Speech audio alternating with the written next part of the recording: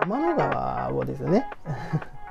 実際に見せて差し上げ単なる叶わない夢じゃなく天の川見せて差し上げたいんでちょっと手伝ってもらえませんかって派手にインパクトがあることをやりたいなと思ってご利用者さんにも入ってもらって演者の方一人では絶対にできないたくさんのスタッフの協力がこれぐらい半額ってその後どうしてますかするじゃないですか。まあ、そういう体験もしてもらいたいなとでチャイニーズタウンで七夕の日にそういうイベントのシーンがあったんで、まあ、こんにちは火曜福祉のカズですよろしくお願いします今日はですね、コメントでいただいていた七夕アクティビティについてお話をさせていただきたいなと思いますまずですね、えーまあ、七夕の時って笹の葉というかあれ、なんていうんだ笹飾りあるじゃないですか。まあ、ね、大きいやつ。それに、まあ、星とか飾りをつけて、で、え、ー、と、みんなに短冊のお願い書いてもらって、ね、一緒に飾るみたいなのが、まあ、通例かなと思います。まあね、あれ、ささりっこ、ね、この大きいやつを買うと、それなりの値段になっちゃうから、たくさん買えないっていうのもある。もうちょっと派手にインパクトがあることをやりたいなと思って、まあ、笹は笹でね用意して飾るんですけど僕がいたところの施設では中庭がねあってそこにね大きな木がいくつかあったのでそこに星とかね、えーと、いっぱい作ってすごい大きな大きな木にかけてどでかい笹ではないんですけど七夕飾りを表現しましたよと。結構ねインパクトあったんじゃないかなと思います、うん。まあ、笹にこだわる必要はなかったかな。あとまあ中庭があるっていうその環境がね良かったのかなと思います。だから例えば施設のねリビングとか中から見えるところに大きな木があったりしたら、まあ、そこに飾り付けをしてもいいのかなと。ただねこれ 多分この後何回も言うけど一人では絶対にできない。さんのスタッフの協力があってできたことではありますと。どうしてもこだわりたかったところっていうのは、まあ、七夕に限らないですけどもやっぱり、ね、その行事事っていうのは七夕だったら7月7日母の日だったら5月の、ね、第何週とか父の日だったら6月の第何週とかっていう風に、まあ、日にちはね決まっているので必ずそこでやりたいなっていうこだわりがあります。まあ、できない時もあるからねちょっと遅れちゃったけどもうねもちろんやらないよりはいいと思うので遅れちゃったりとか、まあ、早くやるとかはまあありだとはもちろんね思うんですけど基本的には、えっと、その日にやりたい僕はそこにこだわりたいな。あとはですねで別の施設でやったことですけれどもそこでは中庭っていうところがなかったので大きな、えーと、七夕飾りっていうのを作れなかったので、まあ、インパクトとしてね見せて差し上げることができなかった。テーブルにちっちゃな笹飾りをねどれぐらいかな？これぐらいこれぐらいのっちゃな笹飾りをテーブルサイズにしていくつかテーブルに置いていくっていう感じでやってましたみんなでちっちゃい ちっちゃい短冊にこう各テーブルに書いてもらって、えー、引っ掛けるみたいな。そんな感じだったりしましたよね。七夕でやったことっていうとまあそんな程度になっちゃうかなと。いやそんなことない。嘘。それはねまあ七夕の飾りとしてあ飾りとしてねもう一個思ったことがあって今までその短冊ってこういうイメージでやっているじゃないですか。コピーしてとかでね。この長いやつを。でもさその短冊ってその後どうしてます？例えば壁に貼ったりしてみんなのお願い事後でみんなで見れますよ。みたいな感じにもまあもちろんしていらっしゃるところあるだろうしねそれでもいいんだけどその後なんですよね問題は。多分ね捨てちゃってるんじゃないかなと思ってるんです。ここはねなかなかその皆さんが書いてくださったものを捨てるっていうのがちょっとね忍びなくて捨てられない。だから 気づいたら他の方が捨てたりしてるんですけどね。でもなんかね、えーと、ちょっとやっぱりねでさそれあの短冊のお願い事ってやっぱり、えー、僕から見るとね単なる叶わない夢じゃなくてえっと、それはねニーズだって思ったりするわけですよ。だからねすごく大きな夢とか叶いそうもねえなみたいなことあるかもしれないけどでもそれをなんとか実現してあげたいなっていうふうに僕は思うんですよ。少しでも近づけるっていうかね、えっと、その雰囲気だけでもとか。この方が何をしたいのかなとかっていうのがそこへ見える。だからね大事にしていきたい。で短冊この薄っぺらいペラペラの紙だと結局捨てられちゃうなってなるとその方のニーズを捨ててしまうようなもんかなって思っちゃったりするので大事にしたい。そこで昨日思いついたんですけど100均とかでねメッセージカード名刺サイズのやつ売ってると思うんですけどそこにねメッセージを書いていただいて飾ると。しっかりした紙だったりすれば、まあ、保存もしやすい。でどうやって保存しようかなっていうと名刺を保管するファイルとかにねこう入れていって2020年の七夕のお願いみたいな感じにしておくと後でね見返しやすいしご家族様が見ることもできるし、まあ、ご見学でね来られているお客様とかにも見ていただける。あこんな風になってるんだ。っていう風にね切るのみんなで見れるっていうちょっと待ち時間とかにテーブルとかに置いてあったらさこれ見やすいじゃないですか、ねまあ、そんな風にね置いておいてもいいのかなとかねせっかくの思いだからその場限りにしたくないなというふうに思います短冊一つもねちょっとこだわってみるのはどうかなと思います。はい、ここまではね大体なんか皆さんできるかなというところです。こっから、えー、っとね、ちょっと大変 大変なんで本当にね参考程度にしていただければと思います。まあ、ただね実際やったことです。まず僕はですね天の川をですね実際に見せて差し上げたいと思ったんです。でもさやっぱりね視力もね結構弱くなっちゃってるし実際外出て天の川見れるかって言ったらなかなか見れるもんじゃないでも見せて差し上げたいとね考えた時にじゃあどうしようかなと思って、まあ、中庭があった施設でやったことですがグリーンを持って行ってプロジェクターで天の川の映像を曲とね合わせて流して見ていただくというような感じでした。でそれはね、えーとまあ、夜アクって言って夜にやるアクティビティレクリエーション施設とかだったらできるかなと思うんですけどいやそんなことない施設じゃなくたってできる、うん、これはねやりたいな。まあいいや。そうして夕食を召し上がっていただいた後、まあ、就寝会場コックケアと行為をしていただいた上で、えーと、集まっていた。だくそしたら見ていただいた後もお部屋に帰れるからそのままね。やっぱりたくさんのスタッフの、ま手が必要だったんですけどみんなにね協力してもらってできた感動していただくことができたなと。やっぱりさ外になかなか出れなかったりするから、少しでもね外に出るきっかけというかね外にしかもさ夜外に出るってちょっとワクワクするじゃないですか、まあ、そういう体験もしてもらいたいなと思ってやりました。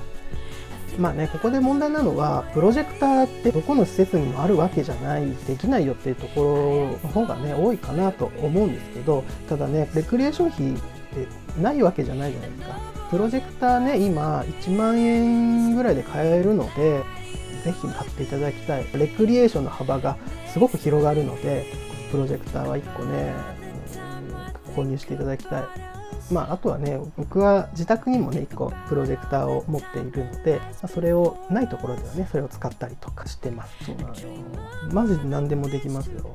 難しいかな。でもね買ってほしい。夜夜ね皆さんこう庭に出ていただいて、まあ、外でねそんなに長い時間は見ていただけないんですけど天の川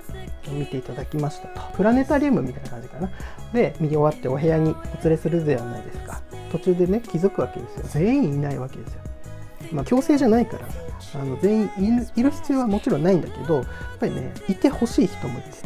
っていうのが、えー、とやっぱりね寝たきりさんというかね自分のお部屋から出ることができない方がいるってことに気づいたんですよね。だからそういう方にもね体験をしてもらいたいからその時にね プロジェクターまで持って行ってでね23人にちょっと手伝ってもらってあの方のお部屋行ってあの天の川見せて差し上げたいんでちょっと手伝ってもらえませんかってあの巻き込んででお部屋に行ってで、まあ、ご家族様もねその時いらっしゃったので、まあ、ちょっとお声をかけさせていただいてあの今から天の川見せて差し上げたいんですけど よろしいですか？ってでまあね上を見ているからプロジェクターを上に向けて天井に向けてね、えーと、お顔のところに見てるところにプロジェクター向けて壁に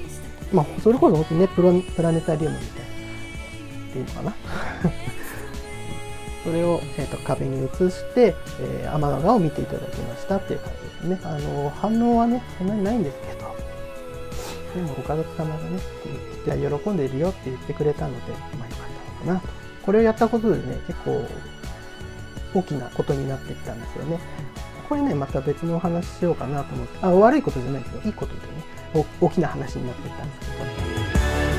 僕はよく話をしてるのが、まマジョリティだけじゃなくてマイノリティにフォーカスしていきたいっていうのが僕の思いだったりするのでそこにいらっしゃらなかった方来られなかった方のためにもね何かして差し上げたいなそんな風にね考えていただけるといいのかななんて思います。まあまあ結構大掛かりだからこれができるかどうかって言ったら結構難しいところです。まあねここここまでがやってきたこと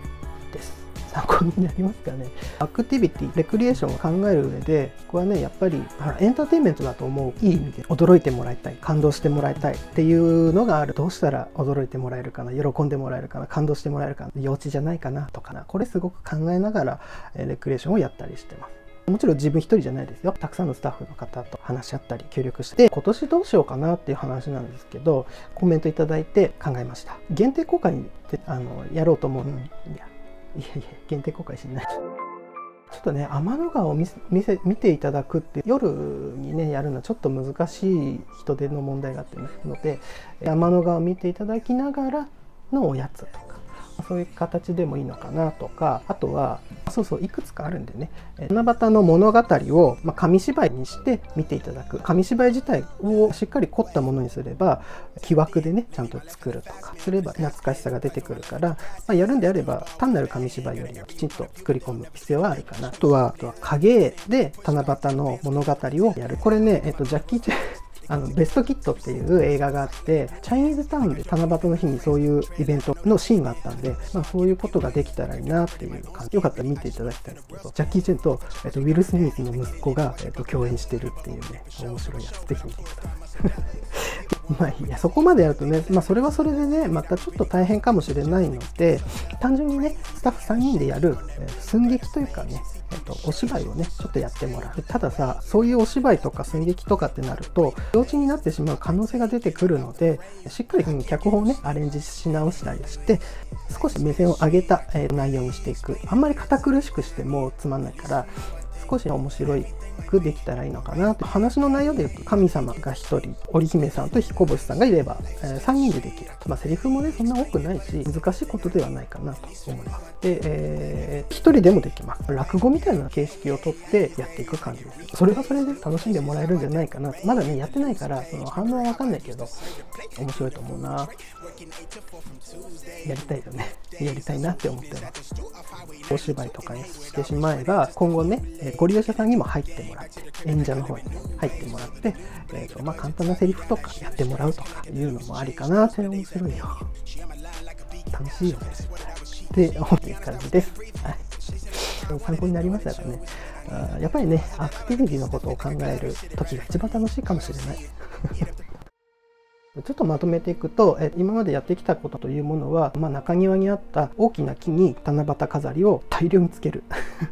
っていうこと。各テーブルにね小さな笹飾りを置いていって手間かかるね。であとはえちょっと現実的じゃないというかね結構人手がかかってしまうことですけれども天の川を見ていただきたいという思いがある。しかもできれば外で見てもらいたいというところなので外に出てプロジェクターを使って天の川の映像を見ていただくことをしました。でお部屋から出られないような方のために室内にプロジェクターを持ち込んで天井に天の川を見せて差し上げること。今年やりたいなと思っていることは、えー、七夕の物語を紙芝居にするか、まあ、影絵で表現するかスタッフ3人ぐらいで、えーと、簡単なお芝居をやるか1人で落語形式でお話しするかあっていう感じです。まとまってんのかな？そんな感じでアクティビティ考えていただければなと思います。このままやっていただいてもいいかなと思うんです。が、ちょっと、バークティビティに関してご興味があればコメントなんかいただければ、ねまあ、いただかなくても あの多分その都度その都度やるかな、そんな感じです。いつもコメントいただきましてありがとうございます。本当にね。今日はコメントをお返しできないですけれども、ただね、えっと、まあ、トニーケニーさんから頂いたコメントでね、ちょっと思ったことがあるので、別動画で、えっと、お話しさせていただこうかなと思います。というわけで、今日はこの辺で終わりにしたいと思います。ご視聴いただきましてありがとうございました。バイバイ。